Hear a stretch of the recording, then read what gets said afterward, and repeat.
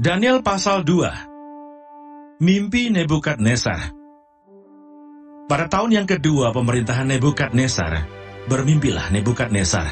Karena itu hatinya gelisah dan ia tidak dapat tidur. Lalu raja menyuruh memanggil orang-orang berilmu, ahli jampi, ahli sihir, dan para kasdim, untuk menerangkan kepadanya tentang mimpinya itu. Maka datanglah mereka dan berdiri di hadapan raja. Kata raja kepada mereka, Aku bermimpi dan hatiku gelisah karena ingin mengetahui mimpi itu. Lalu berkatalah para kastim itu kepada raja dalam bahasa Aram, Ya raja, kekalah hidupmu. Ceritakanlah kepada hamba-hambamu mimpi itu, maka kami akan memberitahukan maknanya. Tetapi raja menjawab para kastim itu, Aku telah mengambil keputusan, yakni jika kamu tidak memberitahukan kepadaku mimpi itu dengan maknanya, maka kamu akan dipenggal-penggal dan rumah-rumahmu akan dirobohkan menjadi timbunan puing. Tetapi jika kamu dapat memberitahukan mimpi itu dengan maknanya, maka kamu akan menerima hadiah, pemberian-pemberian, dan kehormatan yang besar daripadaku. Oleh sebab itu beritahukanlah kepadaku mimpi itu dengan maknanya. Mereka menjawab pula, Silakan Tuanku Raja menceritakan mimpi itu kepada hamba-hambanya ini, maka kami akan memberitahukan maknanya. Jawab Raja, Aku tahu benar-benar bahwa kamu mencoba mengulur-ulur waktu, karena kamu melihat bahwa aku telah mengambil keputusan, yakni jika kamu tidak dapat memberitahukan kepadaku mimpi itu, maka kamu akan kena hukuman yang sama. Dan aku tahu bahwa kamu telah bermufakat untuk mengatakan kepadaku hal-hal yang bohong dan busuk sampai keadaan berubah. Oleh sebab itu ceritakanlah kepadaku mimpi itu, supaya aku tahu bahwa kamu dapat memberitahukan maknanya juga kepadaku. Para kasim itu menjawab raja, tidak ada seorang pun di muka bumi yang dapat memberitahukan apa yang diminta tuanku raja. Dan tidak pernah seorang raja, bagaimanapun agungnya dan besar kuasanya, telah meminta hal sedemikian dari seorang berilmu atau seorang ahli jampi atau seorang kasdim.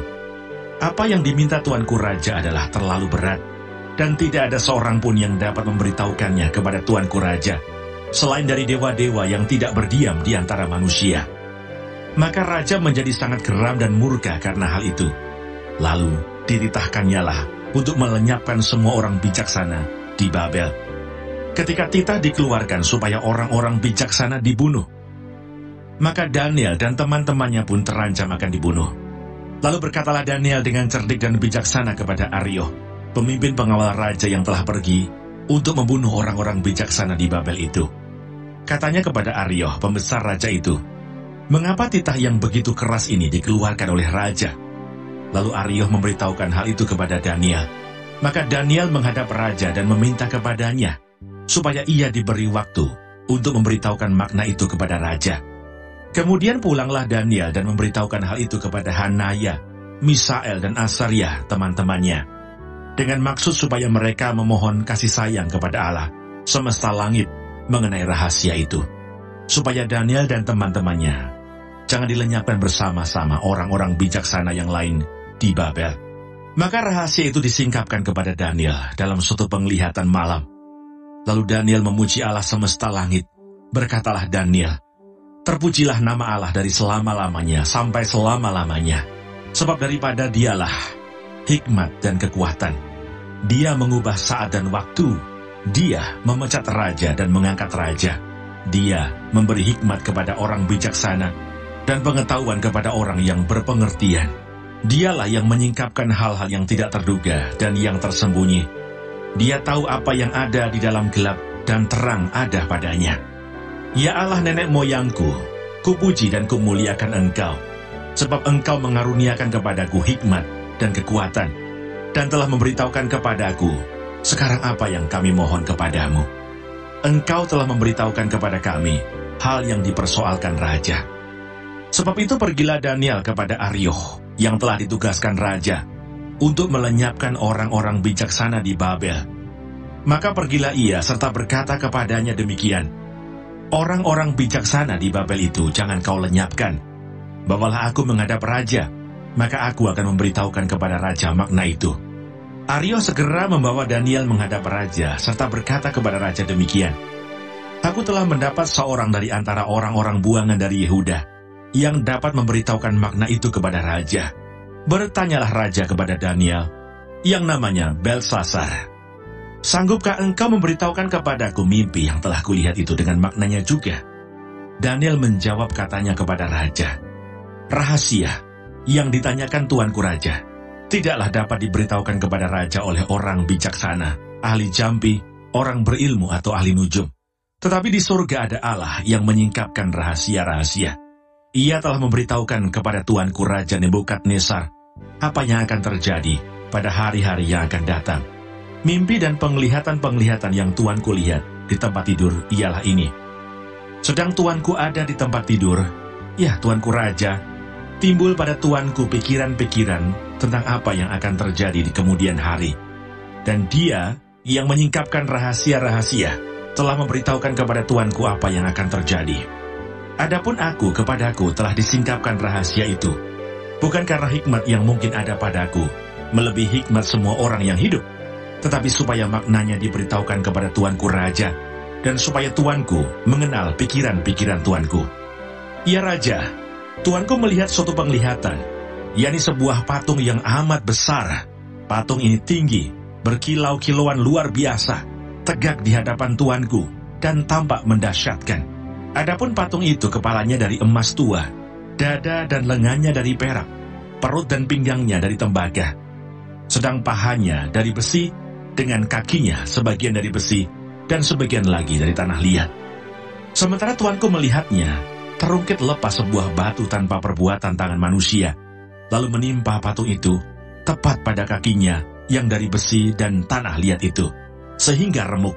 Maka dengan sekaligus diremukkannya lah juga besi, tanah liat, tembaga, perak dan emas itu, dan semuanya menjadi seperti sekam di tempat mengirikan pada musim panas. Lalu angin menghembuskannya, sehingga tidak ada bekas-bekasnya yang ditemukan. Tetapi batu yang menimpa patung itu menjadi gunung besar yang memenuhi seluruh bumi. Itulah mimpi Tuanku, dan sekarang maknanya akan kami katakan kepada Tuanku Raja. Ya Tuanku Raja, Raja segala Raja, yang kepadanya oleh Allah semesta langit telah diberikan kerajaan, kekuasaan, kekuatan dan kemuliaan, dan yang ke dalam tangannya telah diserahkannya anak-anak manusia, di mana pun mereka berada, binatang-binatang di padang, dan burung-burung di udara, dan yang dibuatnya menjadi kuasa atas semuanya itu. Tuankulah kepala yang dari emas itu, tetapi sesudah tuanku akan muncul suatu kerajaan lain yang kurang besar dari kerajaan tuanku. Kemudian suatu kerajaan lagi, yakni yang ketiga dari tembaga, yang akan berkuasa atas seluruh bumi. Sesudah itu akan ada suatu kerajaan yang keempat, yang keras seperti besi, tepat seperti besi, yang meremukkan dan menghancurkan segala sesuatu. Dan seperti besi yang menghancur luluhkan, maka kerajaan ini akan meremukkan dan menghancur luluhkan semuanya. Dan seperti Tuhan kulihat kaki dan jari-jarinya, sebagian dari tanah liat, tukang periuk, dan sebagian lagi dari besi. Itu berarti bahwa kerajaan itu terbagi. Memang kerajaan itu juga keras seperti besi, sesuai dengan yang Tuhan kulihat besi itu bercampur dengan tanah liat. Tetapi sebagaimana jari-jari kaki itu, sebagian dari besi dan sebagian lagi dari tanah liat. Demikianlah kerajaan itu akan menjadi keras sebagian dan rapuh sebagian. Seperti tuanku lihat besi bercampur dengan tanah liat. Itu berarti mereka akan bercampur oleh perkawinan, tetapi tidak akan merupakan satu kesatuan. Seperti besi tidak dapat bercampur dengan tanah liat. Tetapi pada zaman raja-raja, Allah semesta langit akan mendirikan suatu kerajaan yang tidak akan binasa sampai selama-lamanya. Dan kekuasaan tidak akan beralih lagi kepada bangsa lain. Kerajaan itu akan meremukkan segala kerajaan dan menghabisinya tetapi kerajaan itu sendiri akan tetap untuk selama-lamanya. Tepat seperti yang Tuhan kulihat, bahwa tanpa perbuatan tangan manusia, sebuah batu terungkit lepas dari gunung dan meremukkan besi tembaga, tanah liat, perak dan emas itu. Allah yang maha besar telah memberitahukan kepada Tuanku Raja apa yang akan terjadi di kemudian hari. Mimpi itu adalah benar dan maknanya dapat dipercayai. Lalu sujudlah Raja Nebukadnezar serta menyembah Daniel. Juga dititahkannya mempersembahkan korban dan bau-bauan kepadanya. Berkatalah Raja kepada Daniel, Sesungguhnya lah, Allahmu itu Allah yang mengatasi segala Allah, dan yang berkuasa atas segala raja, dan yang menyingkapkan rahasia-rahasia, sebab engkau telah dapat menyingkapkan rahasia itu. Lalu Raja memuliakan Daniel, dianugerahinya lah dengan banyak pemberian yang besar, dan dibuatnya dia menjadi penguasa atas seluruh wilayah Babel, dan menjadi kepala semua orang bijaksana di Babel. Atas permintaan Daniel, Raja menyerahkan pemerintahan wilayah Babel itu kepada Sadrah, Mesah, dan Abednego, sedang Daniel sendiri tinggal di istana Raja.